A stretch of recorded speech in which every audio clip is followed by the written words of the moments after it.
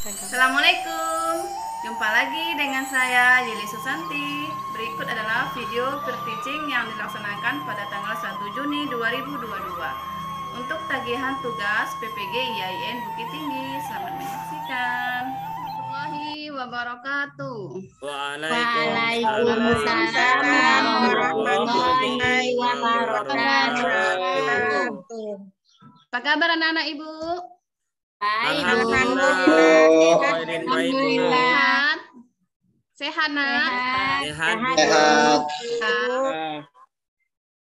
Alhamdulillahirrahmanirrahim. Kita kembali bertemu di kelas 4 dengan pembelajaran yang kedua.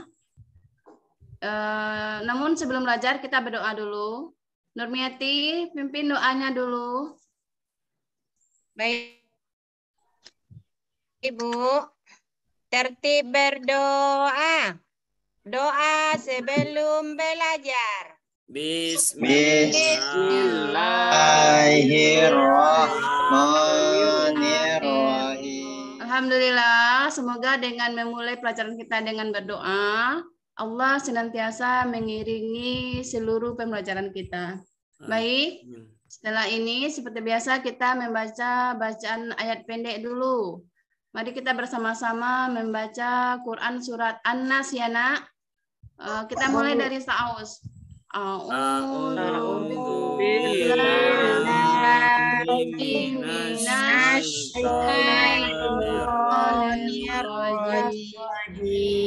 Bismillahirrahmanirrahim.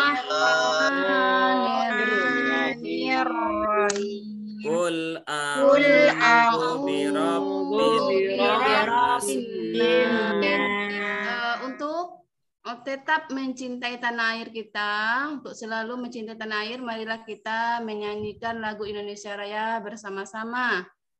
Dimulai dari sekarang, satu, dua, tiga.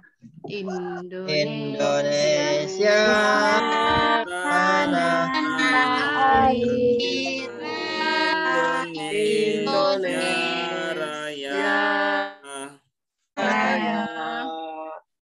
Oke, semangat Nana.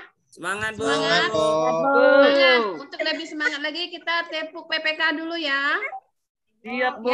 Nah, baik kita tepuk PPK dulu. Siap-siap Nana tangannya. Ya, Tepuk Bu. PPK. Religius nasionalis, mandiri mandiri,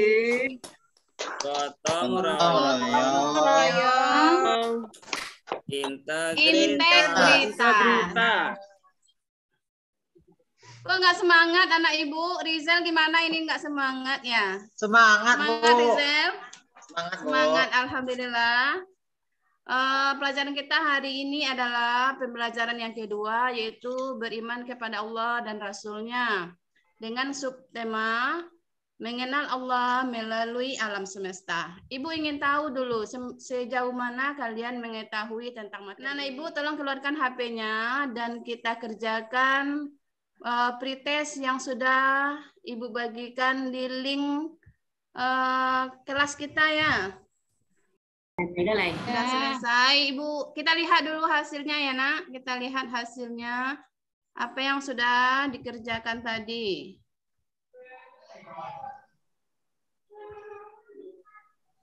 Ada terlihat di layar? ada Bu Ada? ada Ah, tadi Bu, ada, yang Bu, ada. mengerjakan ada. Henry dapat 100. Bagus Henry Hmm. belum belajar sudah pintar ya. Ahmad dapat 20. Nggak apa-apa Ahmad, nanti Aduh, kita Bu. pelajari lebih baik lagi ya. Tujuan pelajaran kita adalah hari ini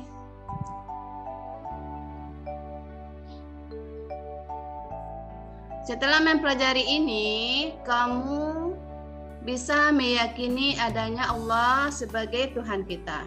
Yang kedua, setelah mempelajari pelajaran ini, kamu bisa menunjukkan sikap percaya diri sebagai implementasi dari pemahaman Allah itu ada. Yang ketiga, setelah mempelajari pelajaran ini, kamu bisa mengaitkan adanya makhluk Allah, menandakan adanya Allah. Dan yang keempat, setelah mempelajari pelajaran ini, kamu bisa membuat kesimpulan sebagai upaya mengenal Allah itu ada. Baik, eh, perhatikan pelajaran ini sampai habis dengan semangat ya. Ya, Bu. Ya, Eh, Langkah-langkah langkah-langkah yang akan kita lalui nanti adalah tadi kita sudah melakukan pretest dan hasilnya sudah Ibu perlihatkan. Yang berikutnya kita adalah akan melihat uh, PowerPoint dari yang akan Ibu tayangkan. Kemudian kita bertanya jawab tentang PowerPoint tersebut. Dan kemudian kita menyaksikan video pembelajaran untuk lebih memahami materi kita hari ini. Berikutnya kita akan mengerjakan LKPD yang akan dikerjakan melalui kelompok. Dan yang terakhir nanti kita akan melakukan evaluasi yang uh, akan Ibu kirim melalui uh, Google Form kita ya. Sekarang kita masuk ke pembelajaran kita. Uh, adanya Allah dapat dibuktikan melalui beberapa cara. Yang pertama dengan melihat makhluk ciptaan Allah. Nah, Ibu coba lihat layar yang Ibu tampilkan. Makhluk Allah. Di sini ada beberapa makhluk Allah. Ada nampak? Coba baca. Ada nampak? Nampak, Wira, Bu. coba Nampak, baca Bu. Wira. Ada apa saja di situ, Wira? Adanya makhluk Allah, Bu. Apa Ada saja yang Ibu yang- di situ? Matahari, bulan, Ah, bintang, lagi. sungai, hewan, batu, angin, Ah, ya. malaikat, awan, dan ini. Ya, ada benda mati. Eh, di muka bumi ini ada yang ciptaan Allah, ada juga yang buatan manusia. Ya. Kalau meja itu termasuk ciptaan Allah atau buatan manusia? Buatan manusia, Bu. Manusia, Bu. Buatan manusia, iya buatan manusia. Mobil ada karena ada perusahaan mobil yang membu membuat yaitu surat Al-An'am ayat 102.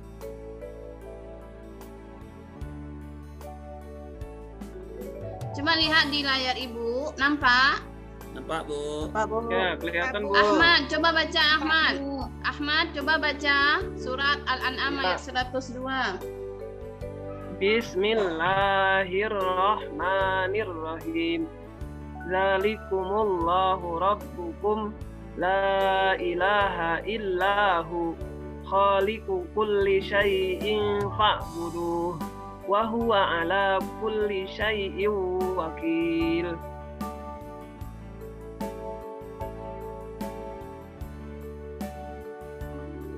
Baik. Baik, Nana. Masih semangat? Masih, Bu. Masih Semangat, semangat, Bu. Nana? Masih. Masih. Masih. Kita ha, sekarang akan menampilkan hasil diskusi yang telah kamu kerjakan. Silahkan masing-masing ketua kelas menyampaikan hasil diskusinya. Hendrianto, silakan. Baik, Bu. Ciptaan Allah yaitu seperti gunung, laut, tumbuhan, binatang, manusia.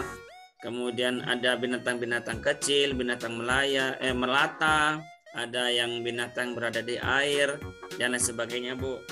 Oke, baik. Tepuk tangan dulu untuk teman kita, Hendrianto dan kelompoknya. Eh, baiklah Bu, Eh, saya akan mencoba menyimpulkan apa eh, materi yang kita pelajari hari ini.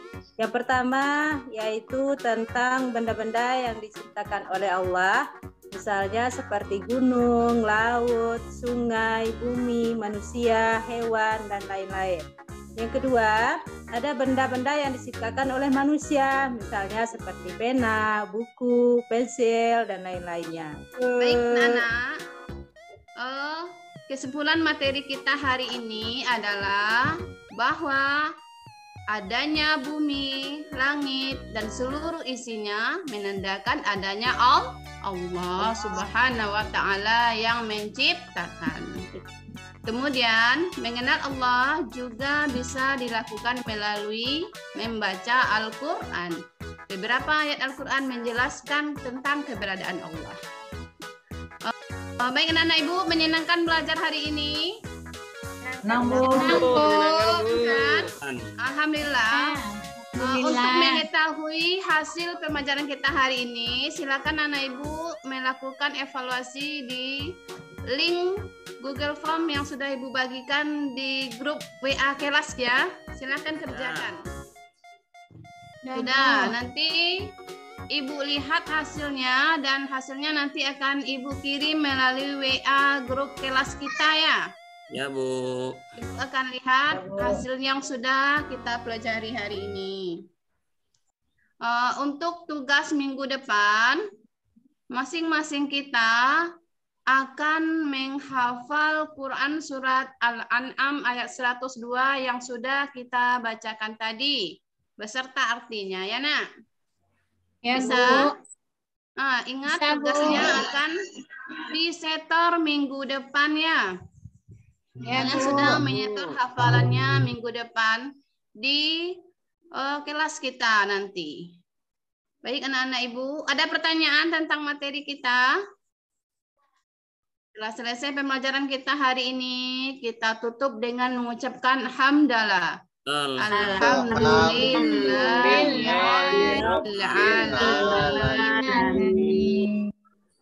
Assalamualaikum warahmatullahi wabarakatuh. Waalaikumsalam. Warahmatullahi wabarakatuh.